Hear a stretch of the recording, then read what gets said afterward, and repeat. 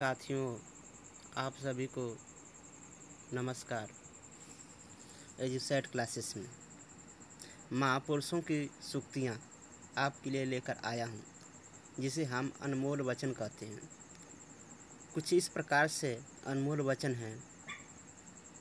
कर्म तेरे अच्छे हैं तो किस्मत तेरी दासी है। यदि भावना तेरी अच्छी है तो घर में ही मथुरा और काशी है।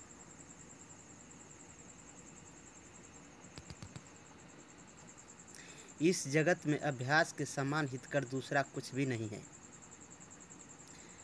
इस जगत में अभ्यास के समान हितकर दूसरा कुछ भी नहीं है। अतः भलाई पथ पर चलने वाला।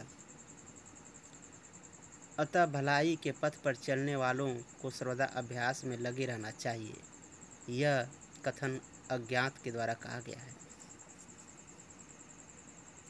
गरीबों की सेवा ही ईश्वर की सेवा है, सरदार पटेल जी ने कहा है। संकट के समय धैर्य धारण करना, मानव आदि लड़ाई जीत लेना है, प्लाटस ने कहा है।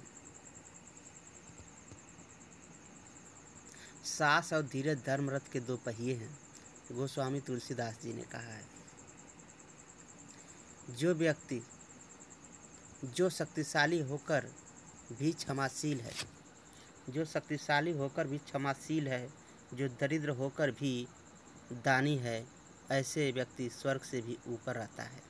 भगवान महावीर ने कहा है, मनुष्य का अच्छा किया हुआ सब कर्म सफल होता है।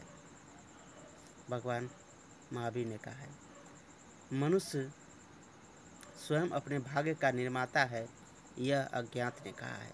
मेरे प्यारे साथियों, हम अगले वीडियो में आपके लिए अगला इसका पेज लेके आएँगे।